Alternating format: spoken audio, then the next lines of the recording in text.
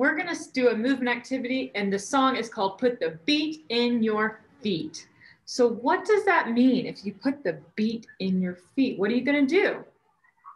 You're going to walk to the beat. Okay, so when the song comes on, it's gonna say, put the beat in your feet and you walk and you stop. So it's gonna tell you what to do, but be sure you keep that beat going. It's the feel of the song.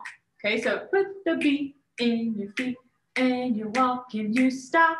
So you're gonna walk to that beat and then freeze whenever it says stop, freeze, one, two, three. Then it's gonna sing it again.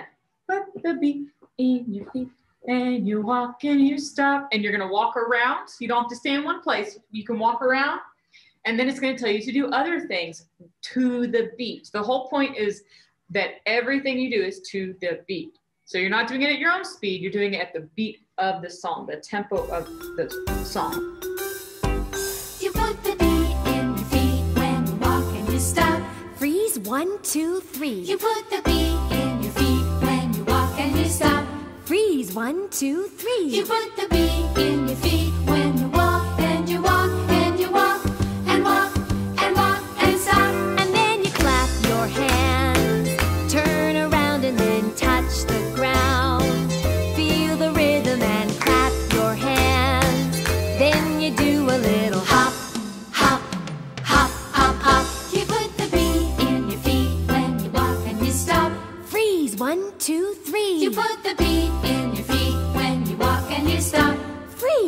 two, three. You put the beat in your feet when you walk and you walk and you walk and walk and walk and you stop. Yeah! Very good. So that's how you do it. If you want to make a game out of it, you can, and you can do it with multiple people. And if they don't do what it says to do in the song, they don't freeze, they don't keep the beat, then they're out of the game. Okay, but first you want to practice so you can feel that beat and do everything that they're saying in the song. Okay, so have fun with it. That is put the beat in your feet. You put the beat in your feet when you walk and you stop. Freeze, one, two, three. You put the beat in your feet when you walk and you stop. Freeze, one, two, three. You put the beat in your feet when you walk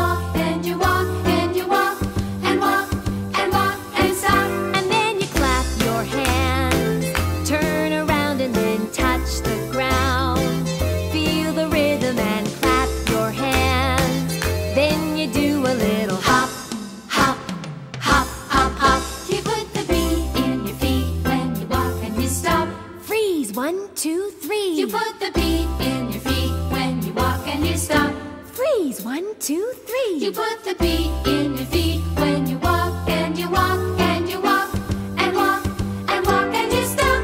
Yeah!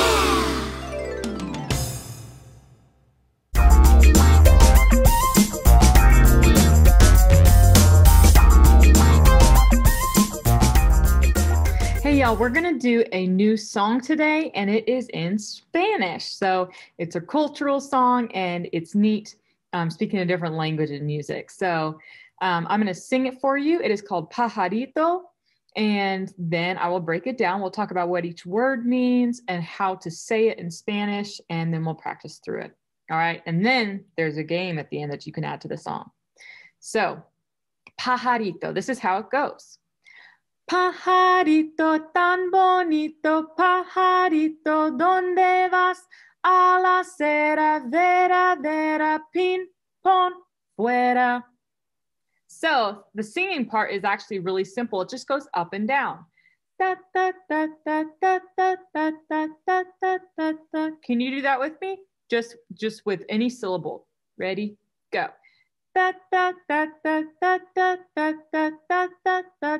See, it's just up and down. Can you say pajarito? Pajarito. All right, that means little bird. So this song does not all make sense. It's just a little fun song. Um, it is from Latin America.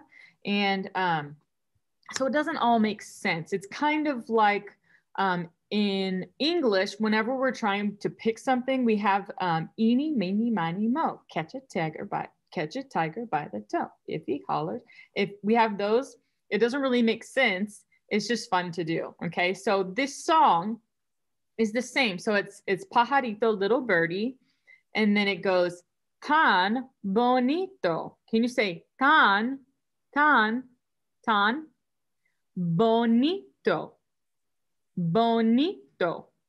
That is pretty. So pajarito is little bird, is bonito, pretty, tan bonito. So we're saying pretty little bird if you put that together. So repeat after me. Pajarito, tan bonito.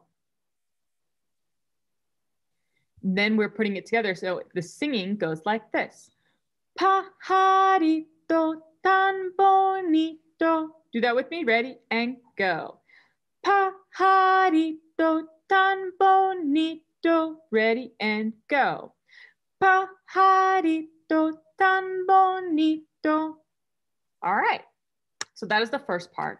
And then the second part starts with pajarito again, so little birdie. And then donde vas? That means where are you going? So it says little birdie, where are you going? So you put that together in Spanish. Pajarito, donde vas? Say pajarito, pajarito, ¿Dónde vas? ¿Dónde vas? Say that. ¿Dónde vas? Pajarito, ¿dónde vas? Say that with me. Pajarito, ¿dónde vas? And what does that mean? Little birdie, where are you going? Okay, so let's do those first two parts. Say, say it with me. Pajarito tan bonito, pajarito, ¿dónde vas? Let's do it again. Ready? Go. Pajarito tan bonito, pajarito, ¿dónde vas? ¿Dónde vas? Okay, now we're going to sing it up and down. At the end, you're going to go, ¿Dónde vas? Do that with me. ¿Dónde vas? Ready? From the beginning. Pajarito. Ready? Go. Pajarito tan bonito. Pajarito, ¿dónde vas? Let's do it again. Ready? And go. Pajarito tan bonito. Pajarito, ¿dónde vas? Let's do it one more time do your best. If you mess up, it's okay. Sometimes you just got to repeat it, repeat it, repeat it till you get it. Ready and go. Pajarito tan bonito, pajarito, ¿dónde vas? Now let's speed it up just a little bit. Ready, set, go. Pajarito tan bonito, pajarito, ¿dónde vas? Do it one more time. Ready and go.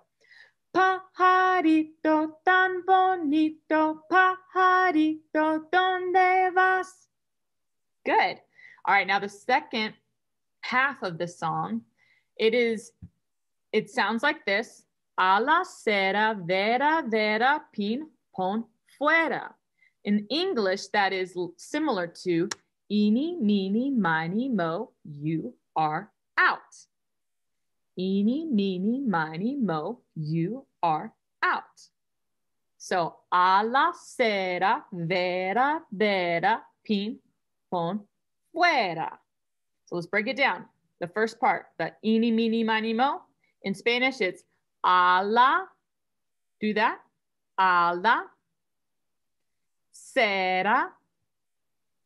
cera. Be sure you're repeating after me a la cera,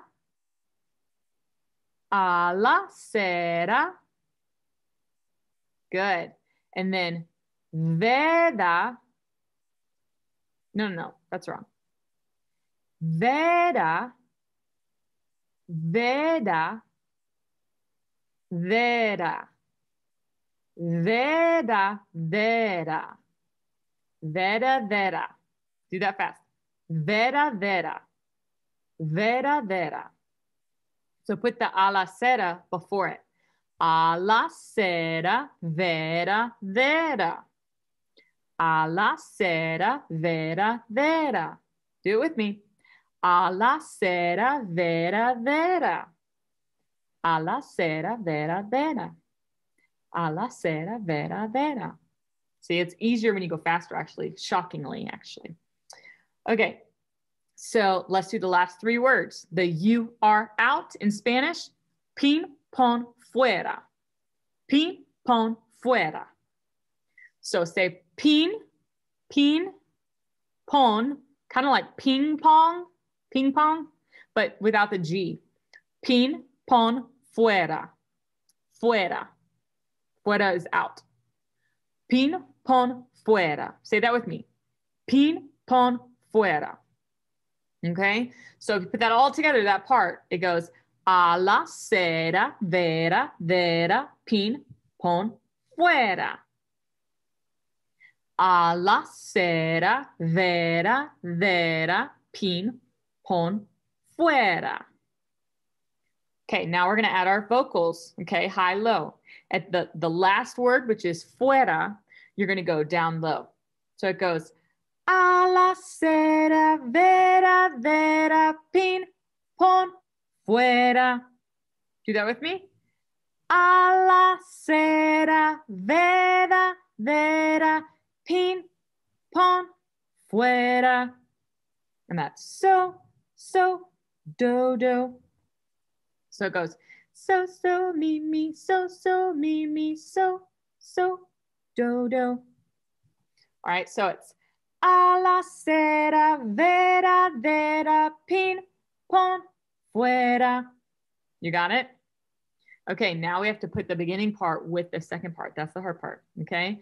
So, pajarito, tan bonito, pajarito, ¿dónde vas? A la cera, vera, vera, pin, pon, fuera. Can you say it with me? We'll do it slow. Ready? The whole thing. Ready? Go. Pajarito tan bonito, pajarito, ¿dónde vas? A la cera, vera, vera, pin, pon, fuera. You got it? Now we're going to add the highs and lows. Ready? Go. Pajarito tan bonito, pajarito, ¿dónde vas? A la cera, vera, vera, pin, pon, fuera. Okay. Um, oddly enough, the faster you go with this song, not not really fast, but the medium speed. If you go faster, it's a lot easier because it just flows. Okay, so let's try it a little bit faster. Do your best. Ready, set, go. Pajarito tan bonito, pajarito, ¿dónde vas? A la cera, vera, vera, pin, pon, fuera. You got it? All right. Do it on your own a couple times. You can pause here, do it on your own just to practice to make sure you got it. Because for the game, you need to know how to sing the song. Okay. And also, you need to be able to sing it quicker okay? Because it starts slow and then as you progress through the game, it gets faster and faster and faster. Okay, so let's try it again. Ready, go. Pajarito tan bonito, pajarito, ¿dónde vas? A la cera, vera, vera, pin, pon, fuera. So for the game, um, the way it works is you have to do it with more than one person, okay? Um, the more people you can get to do it, the more fun it is. So it's a group game. So one person is it at a time. That person, that we call them the pointer. They're the pointer. They the pointer closes their eyes and really close your eyes. Don't peek. It's no fun when when you peek. It ruins it. So you close your eyes and you point. point, and everybody else who's playing is in front of you. Okay, and like a little bit at a distance, not right in front of you but they're in front of you. And as we sing the song, the pointer with their eyes closed is going to point around randomly, eyes closed, So, pajarito tan bonito, pajarito, ¿dónde vas? A la cera, vera, vera, pin, pon, fuera.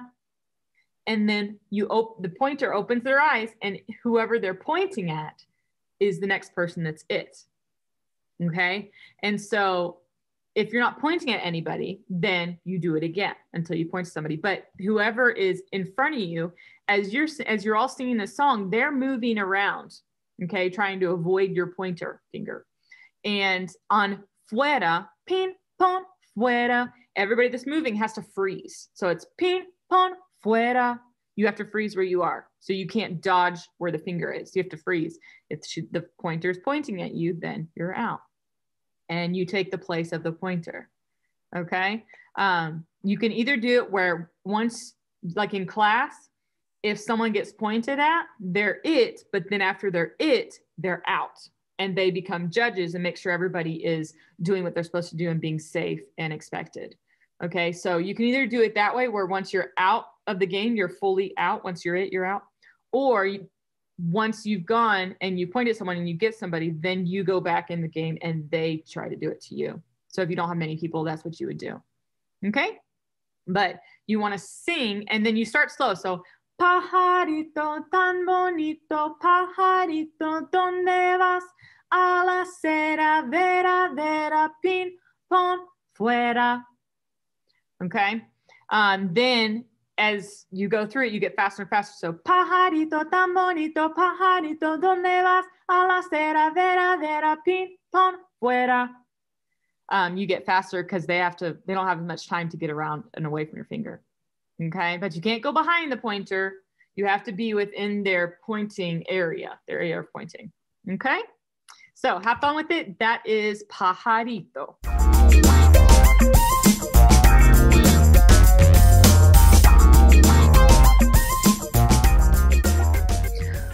So for the online activity um, that you can choose to submit as your assignment um, or your student response, we're going to be doing instrument bingo.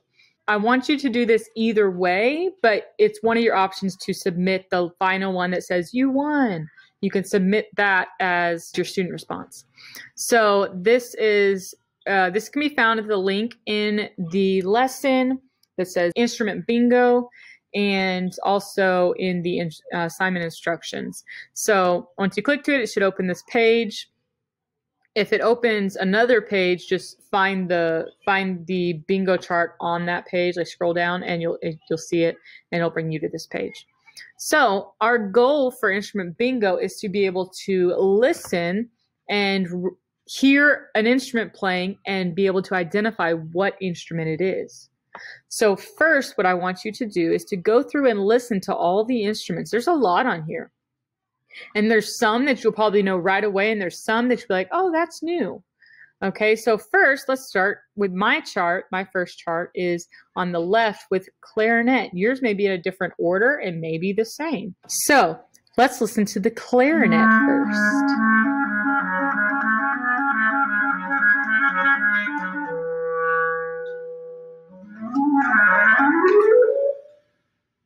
That's the clarinet. Now we'll go to the next one. It says snare drum and it has a picture of a drum. It's like a a marching drum.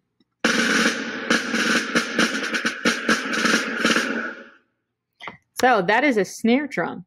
And you see the picture of it right here? As a snare drum. A clarinet is a long black instrument that you play in front. Okay. And now we're going to hear a low instrument. This is a really long, it's called a bass clarinet. Anything that has bass in its name is going to sound really low. So let's listen. Very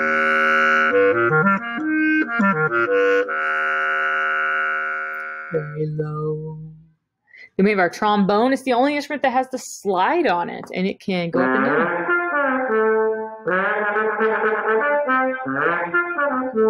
down. That is the trombone. And do you hear how it gets whoop, whoop?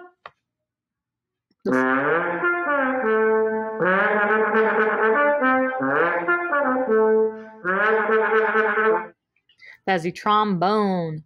And then we have timpani, which is a bunch of drums together.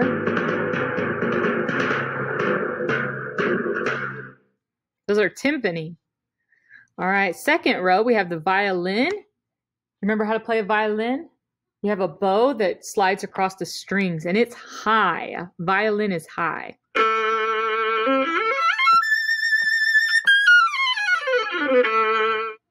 See, you notice how high it went? That is a violin. This next one is called a bass, and it looks like a giant violin. And remember, anything with bass in the title is a low sounding instrument. All right, so we have bass. Let's listen to this bass.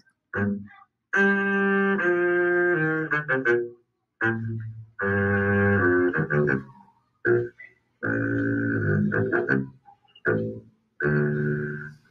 how low it went? Now we have a bassoon, and it also has bass in the word, but it looks different. A bassoon is a low instrument, but it can go it can go mid range as well, but it's very long.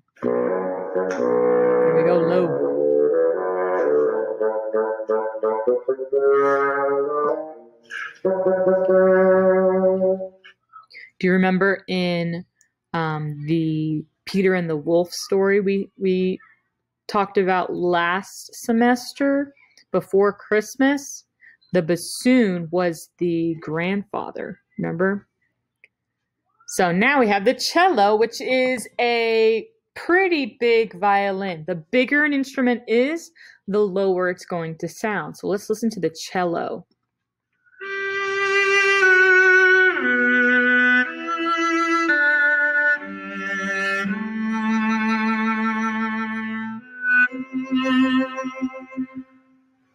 See, it's not as low as the bass was, but it's not as high as the violin.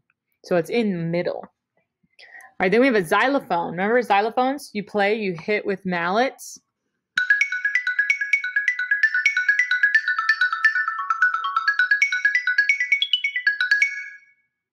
Xylophone. All right, let's go to row three. We have cymbals. Remember, you crash them together? Cymbals. Cymbals, and they last for a long time unless you touch them and then they stop vibrating. A celeste is like a piano.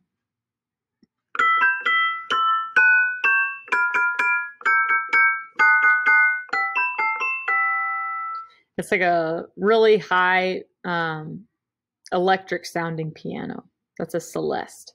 This thing in the middle, that is your freebie. So when you're playing bingo, your goal is to get five in a row, either left to right, right to left, sideways, going up and down, or going diagonally. So you would use, it's like an X in the middle. Um, so that's a freebie. So you automatically get that one right, that box right. Okay, let's move on. Contrabassoon. That is an even bigger and longer bassoon. So it's like this one, the one that the grandfather was, but it's going to be even lower. So let's listen to how low it gets.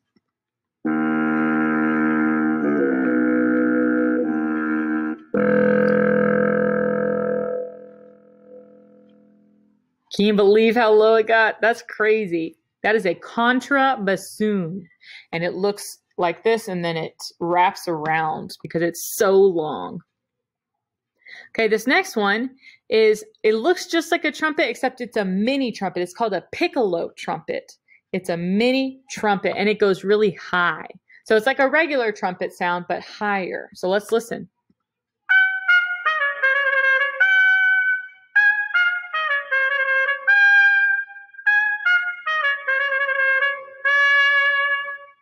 That is a piccolo trumpet. Right below it, we have the regular trumpet. Let's listen to how it sounds.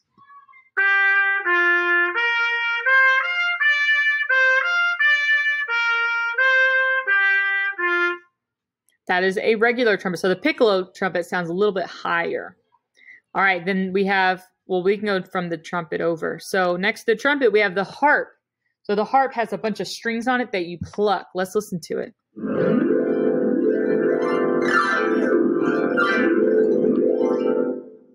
That's the harp. Next to that is the horn. It's actually called the French horn. And you see how it has a circle? It goes in a circle. It has tubing that's wrapped around around. So the tubing is actually really long. So it can get really high and it can get really low. Let's listen.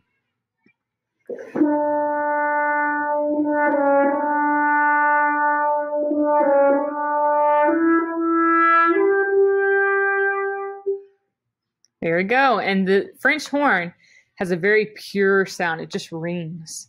It's really pretty. It's my favorite instrument to listen to whenever played well. the next one, this is a big drum. It's called a bass drum. Remember, bass is low, so it's got a low sound to it. So let's listen to it.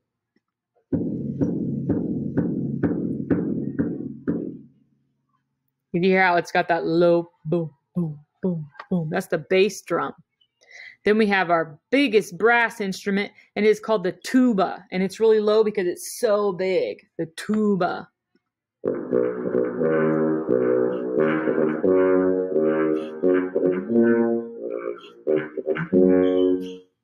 All right, do you recognize that song? All right, so that is the tuba, and it goes really low. Our last row, we have an oboe, and an oboe looks a lot like the one next to it, which is called an English horn. But listen to how they sound different. This is an oboe.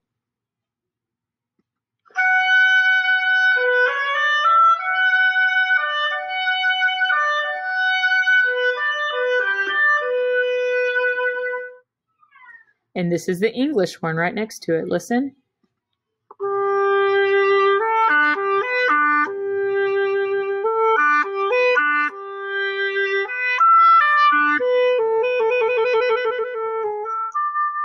So it has a different tone to it. Let's go back to the oboe. Listen.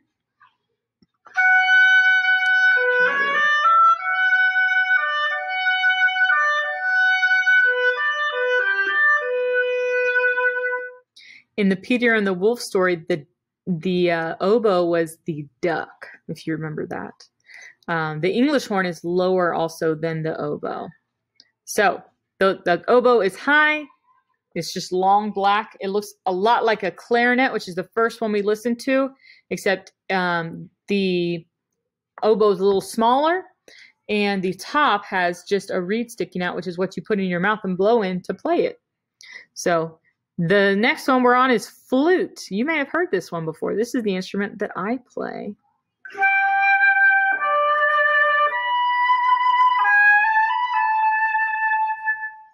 Did you recognize that? That is the flute. It's very high. It sounds kind of like a bird. Then we have a gong. Gong is what you hit and it goes. So let's listen to it. It's really it's I can't even make the noise. That was a horrible example. but um let's listen to the gong.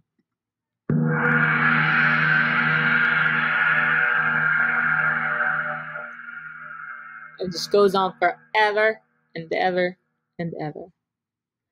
So it lasts a really long time. And then last we have a viola, which sounds a lot like a violin, except it's not as high. So let's listen to it.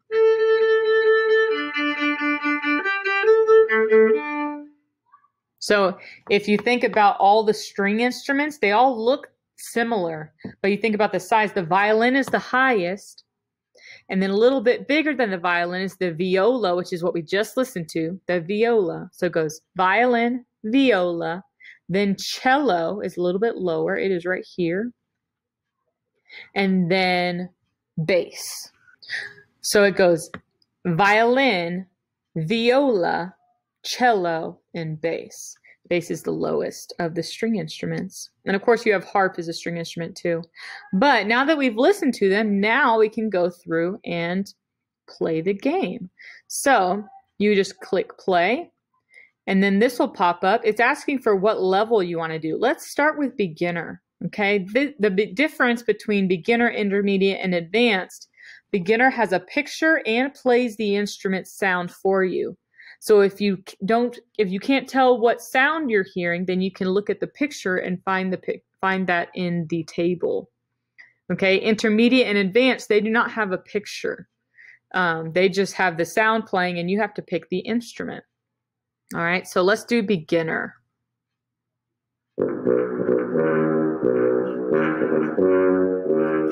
That's really low. It is the tuba. So let's find the tuba down here. Tuba. There we go. Cello. It's a string instrument that you sit down to play. Cello is right here.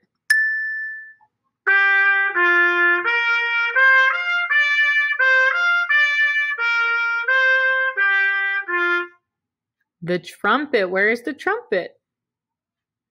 Right here. So we're trying to get five in a row.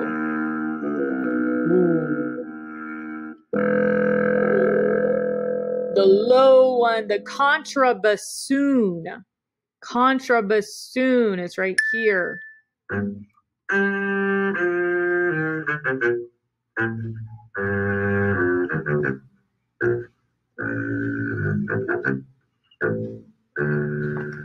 That is the bass. Where's the bass? Is it right here? Bass.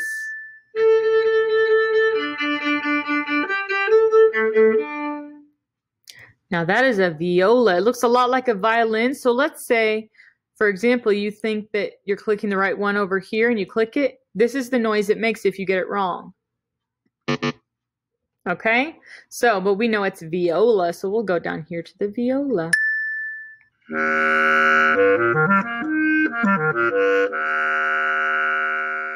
You're low, that's a bass instrument, bass clarinet. Bass clarinet is a giant clarinet. It's really long. Right here.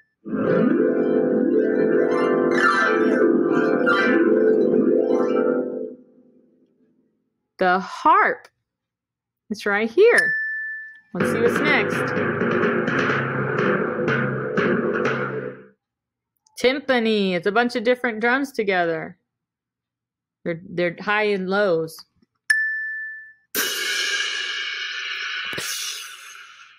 Cymbals, right? So let's go over here to cymbals.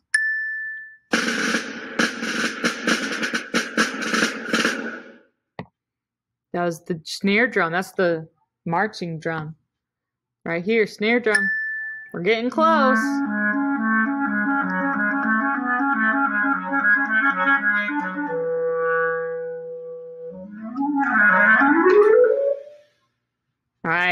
Clarinet. I think we may have one after I ch- choose the clarinet because it's right here and we got a diagonal full. And this spot in the middle, that's your freebie. So you automatically get that square correct. So we have one, two, three, four, five. Diagonal. Ready? Let's see if we won. We did.